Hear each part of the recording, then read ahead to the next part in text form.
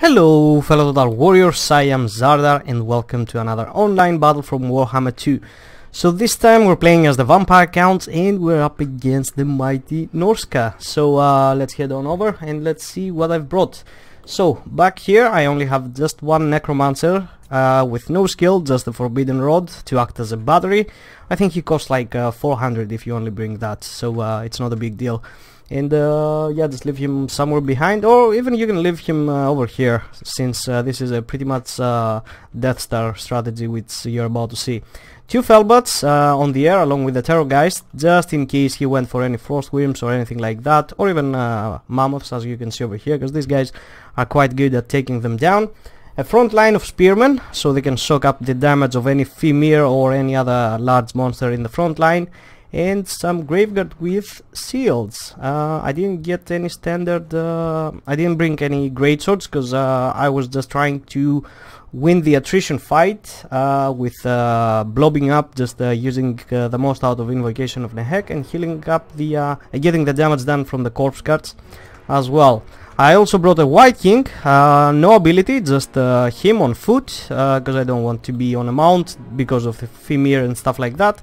And also Kemmler on foot, which, uh, let's see, what did he uh, what did I bring? Krell, pretty much a standard, quite a nice pick, and Death Resurgent for leadership and melee defense, Raise Dead, Invocation, and the Chaos Tomb Blade, which provides plus 5 melee attack, which is gonna be great for this standard Graveguard at uh, winning down against the Moro uh, Marauder Berserkers because uh, uh, they will still win but at least now the uh, Graveguard will be able to take them down a lot faster with that extra melee attack because this is where they suffer a little bit on the melee attack. And two Crypt Horrors in order to have some mass uh, to protect my corpse carts and stuff like that.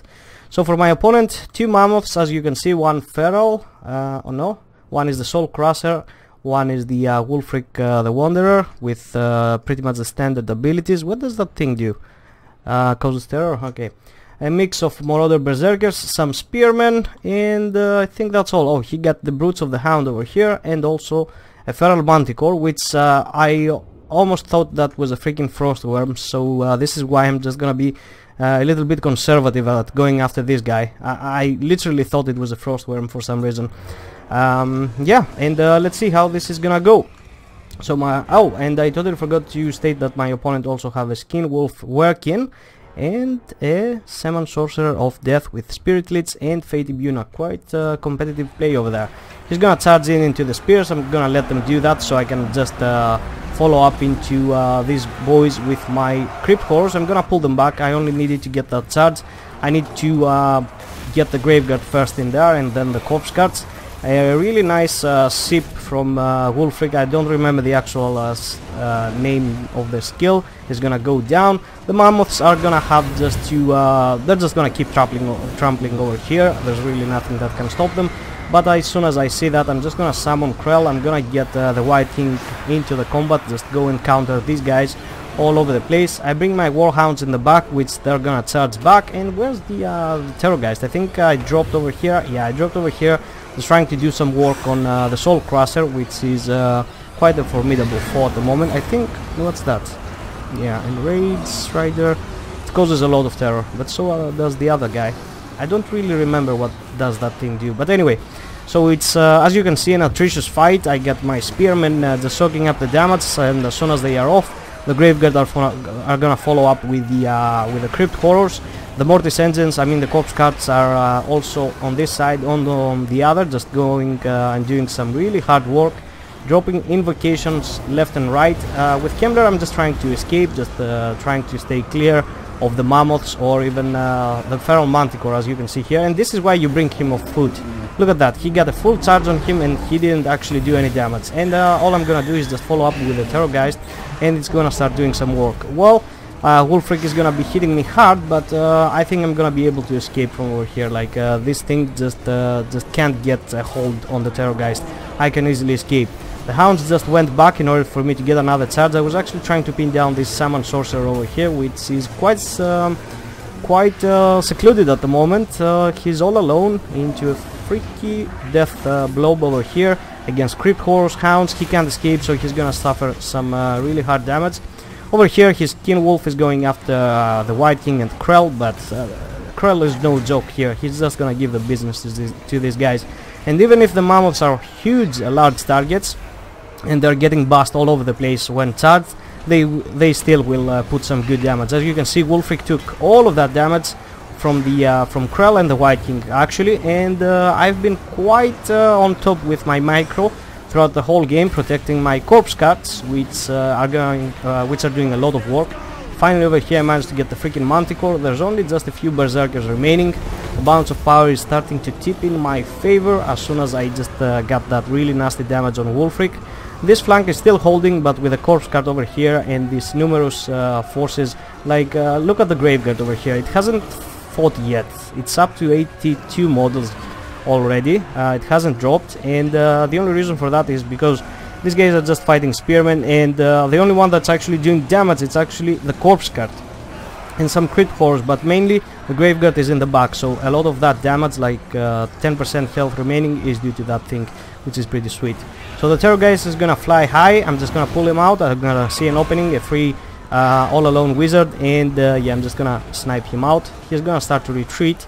I'm gonna follow him up, I'm gonna... I don't know if I'm gonna stay on his toe, but uh, I think I will, and I need to get that guy destroyed. I don't want any spirit leeches or such like uh, that, although I don't think spirit leeches are any good against the vampire counts. I can just out heal it quite effectively. So uh, pretty much like the bounce of power is massively in my favor. This guy back there just poor soul just getting uh, beat down by the forbidden rod.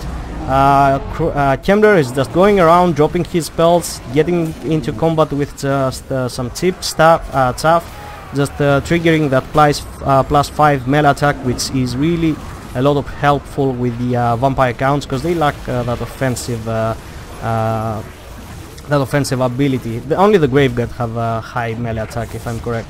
Over here I'm gonna see that the freaking wizard is gonna be coming back so I'm just gonna send the Terrorgeist and I think he's gonna get him or not. Let me just see over here, let's see. I think he's gonna get him. I think one more hit and uh, this guy's gonna be down. Yep, and down he go. Oh my dear lord, he... Holy shit, where's the rest of his body? Oh my dear lord, that was brutal. So there goes his uh, caster. Wulfric is down to 30% health. The other mammoth also, and it's mainly because of these two guys, because the chaff over here honestly can't do that much of a damage, nor neither does the corpse cart, which has been chased off throughout the whole match uh, by the mammoths, but I was uh, quite effective at protecting it with some uh, zombie summons, uh, Krell and the Wight King, and also the Crypt Horror, which are down to just three models at the moment, and also crumbling. The other side is collapsing. Honestly, I don't know why I'm keeping all these forces over here. Yeah, I'm just gonna get this whole pocket just coming towards this way. But honestly the only thing that remains is just these three targets which uh, well eventually they're gonna go down. Just Krell and the Wight King all alone can take them down quite easily. Krell is actually at his healing cap for for frag's sake. Uh, does he de uh, degenerate? I don't remember. I think he degenerates uh, during uh, because uh, I just get uh, I remembered from my campaign where you actually get the skill that he doesn't degenerate but I think on the uh, multiplayer it's quite different. So yeah that uh, that's gonna be pretty much it. Like I'm just gonna blow up over here just drag down Wulfric and the Mammoth uh, the Soul Crusher these Berserkers over there how many? Just three remaining. The spears can finish them off. It's gonna take them like a minute to take them down but still. And uh, there he goes. He uh, collapses. Uh, it's gonna take me a minute to realize that this is an unbreakable unit so I'm just gonna as soon as I see it I'm gonna go after him but uh, my opponent just catches up to me and uh, he get he just forfeited so a nice build uh, from my opponent. Just look at the kills of Wulfric, 327 but it was mostly zombies. Spearmen more summoned zombies. So uh, uh, I don't think he really did much. Although he got a nasty kill count on my two Graveguard on the other side, on the uh, center and right, but the left side, which were only uh, Marauder Berserkers, and actually the uh, Brutes of the Hound weren't able to just pass through that tide. And uh, yeah, Felbats, I don't even remember what I did with them. They just melted. Uh, the Warhounds pretty much uh, the same. Crypt Horrors did amazing job at just pinning down the enemy forces, just making the mammoths not so easy to just trample through my army. They still trampled through my army, but at least most of the times they were uh, they were just stopped by these guys for a moment. So Krell and the Wight King could uh, catch up to them. Corpse carts. Uh, it says zero kill over here, but uh, I think it's more than that. Uh, do they actually do damage? I don't remember if the corpse carts do damage. I I I, I genuinely don't remember. Uh, I always miss them. Uh, I think they only provide the melee attack, so I, I really don't know what to say. Like, uh, disclaimer over here, I don't remember what the corpse carts with unholy lodestone actually do. I think it's only regeneration and melee attack and stats in general. So yeah, just excuse me if I said about anything about damage. And the Terrorgeist just did an amazing job, just providing me the uh, mobility that I needed to snipe out uh, either the Shaman Sorcerer or even Wulfric or even the other Mammoth, which uh, get really hit by the Terror Terrorgeist. And the breaths, I was dropping some breaths. And yeah, for my uh, opponent's opponent's build, uh, it was quite nice, but I think he needed some anti-large for obvious reasons. I think uh, you don't need Fimir with uh, the uh, with anti-large. I think you need uh, a, a best pick should be the uh, normal one, which uh, only got armor piercing. I don't remember what's the name of it, but you don't. I don't think the you need the anti-large variant over here. They it might actually be great if you bring the other one, the other ones. Anyway, I really hope you enjoyed, guys. Feel free to leave a like or a comment, and I'm gonna be seeing you next time. Bye bye.